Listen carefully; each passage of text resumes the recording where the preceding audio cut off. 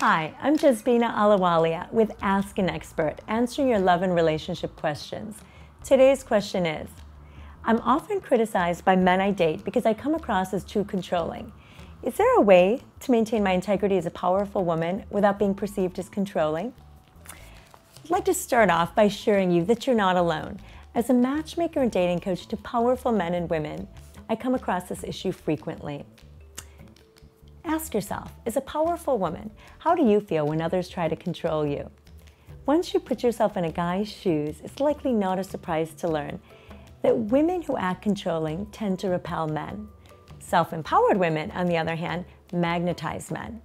Consider that your integrity lies in being a self empowered woman, more so than a woman with control over others, including men. So, how do self empowered women act? Three things come to mind. One, self empowered women tend to be comfortable in their own skin, making those around them comfortable as well.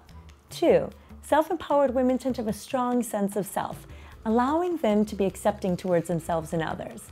Three, empowered women realize that their power lies within and that they can control no one but themselves. One final thought I'd like to leave you with self empowered women realize that their true power lies in their ability to control their own thoughts and actions leaving little need to control others. Connect with me at yourtango.com slash experts slash intersections.